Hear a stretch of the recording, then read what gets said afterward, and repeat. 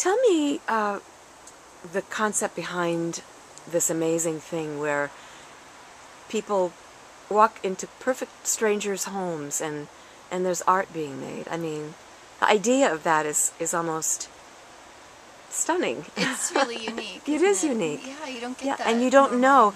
Uh, you don't know that there's all this magic inside these houses. You just pass by in the neighborhoods and you don't know.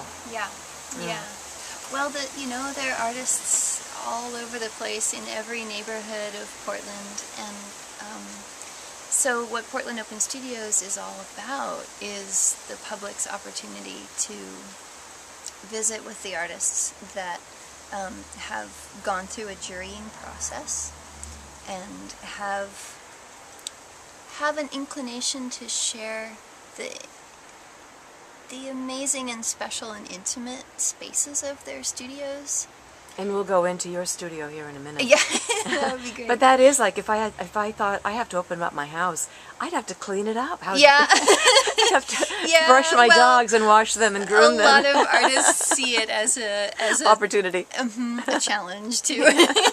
to But yet they're willing to do that, so that's really part Oh, of the deal. sure. Yeah. Well, a lot of us really care about the educational side, and you know, we really care about making our process um, visible to And the available, public, yeah. available, and um, you know, so Portland Open Studios is a nonprofit uh, with an educational mission, and so what's wonderful about that is that instead of being focused on the objects themselves we're more focused on the process and the education around the process and uh, the, the sort of the business side of things as well so what is the real everyday life of a working artist and um, you know the challenges and the joys and being able to share that with the public is really pretty amazing for us and basically the neighborhood is all of the all metro of, area all of the metro area. So Yeah.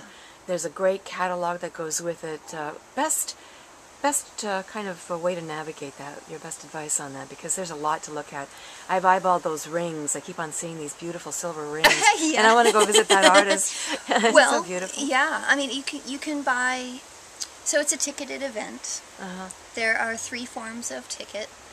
The fifteen dollar ticket is a full color, very very nicely produced um, tour guide and catalog, which has images of ev- of the work of all the different artists, and there are artists working in every visual arts media um, medium.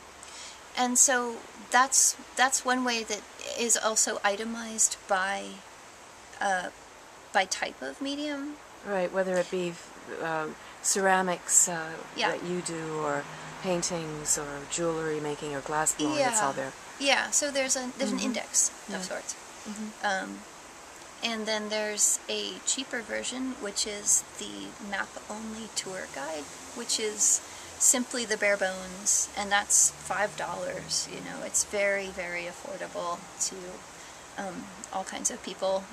And then over And those so- four days, uh, you can sort of pick and choose, and there are hours, and Yeah. you, and the artist will be expecting your knock on the door. Well, yeah. What I'm, well, I'm just really, really determined to be um, an artist who's making, uh, well, a potter, a craftsperson, to differentiate in this great triangle of artist and craftsperson and designer. I play multiple roles, but I'm really fo- I really love to just make the work myself. I really love the nature of my material, which is porcelain and awesome fire. you know. Yeah. So Where is your kiln, by the way? it's it's out behind Yeah. my awesome landlady's backyard. Yeah, and we're So we can see that later yeah, too. In your and this is my kitchen. It's full of um, usable art. There we go. pots made by people that I have known for a decade. Um, students, teachers, peers. Um, and this is, you know, when I entertain, I say, pick your. Pick Like I, that like I actually did. There's my cup Yep. of, there's my cup of water Yep. right there. made by this amazing person and you know like every piece has a memory for me and so my life is amazingly rich um, because i'm i'm every day i'm using a little piece of the maker when i make tea and i have my dinner and i you know, share with friends. It's just an amazing um, process. Okay. And we're you're in process here with a cup you're making. So this is essentially a blank.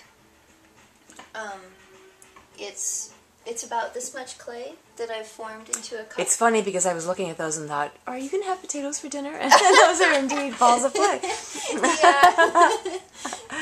um, and so I've I've smoothed the surface much like this. And with these two ribs, I'm also, you can see, expanding it. Uh, in the process of expansion, I am creating a structural strength mostly in the way that clay has a certain shape and the particles need to be aligned in order to be strong. Um, and I, you know what, what's super sweet about this particular wheel, in addition to having a good alignment for my spine, which leads to um, my ability to do this for decades. I also have a metronome. Just look down there for a moment, and you can see how the the foot power ticking back and forth is connected to the rotation of the wheel in such a way that every single time my foot is in one position, the clay is in the same position. And so I can this is this is very unique to my work.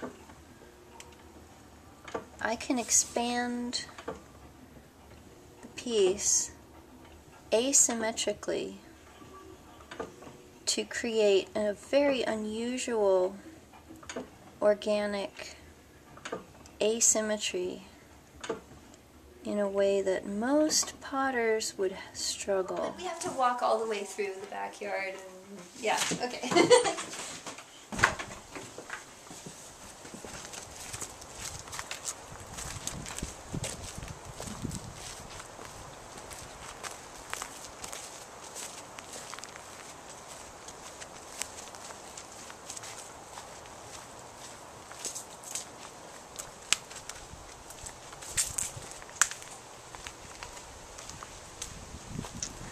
my kiln.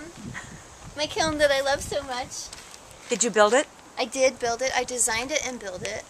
And there's this big chimney that's going up. Yeah. So, this is the Tin Man.